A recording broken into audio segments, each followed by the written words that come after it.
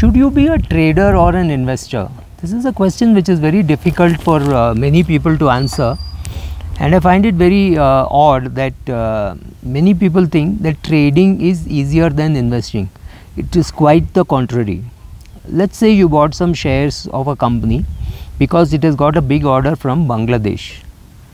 And uh, what you want to have, what you, you want it to happen that 9 o'clock nobody should know about this. You should know about it.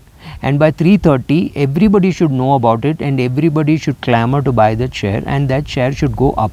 This is the compulsion for a trader because you don't have money to take delivery. You have done a leverage trade.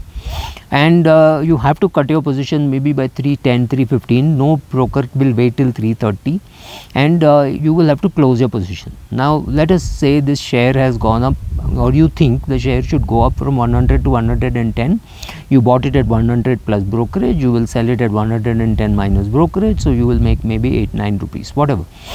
But what happens is during the day the government of india or the government of bangladesh makes some order saying uh, passes something else.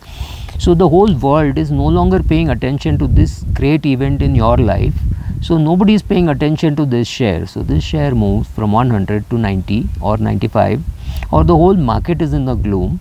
End of the day you have to cut your position at 95 now instead of making a 10 rupee profit you are going to make a 5 rupee loss uh, why does this happen? It happens because you had a leverage position. You had no capacity to take uh, delivery and therefore you have lost money. Now take the same situation you bought the share at 100 rupees you bought only 100 shares you had the capacity to take delivery of 10000 rupees worth of shares you took delivery the price fell to 95 uh, but after 15 days the price went up to 105 or 110 right?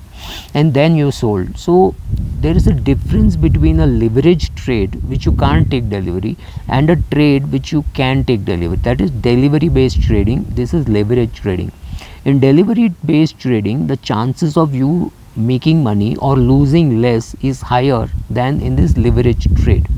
But even there, if you are leveraged, chances are the return that you get in a month may be much less than the interest payout that you are doing.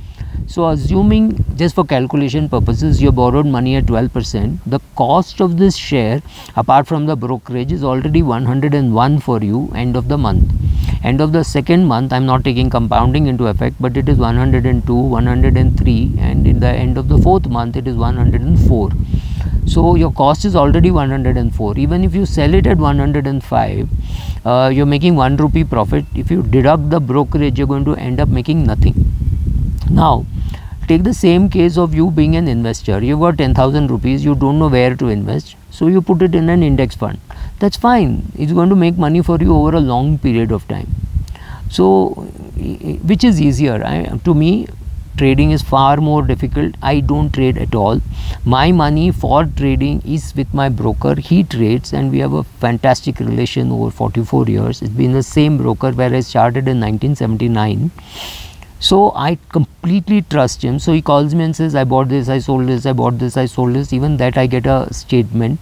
So that's a fabulous relationship which I have because of which this is happening, right? Uh, not everybody will have the luck of having a broker like this. So my uh, take is very simple. You're better off being an investor than being a trader. Be careful about what you're doing. Thank you.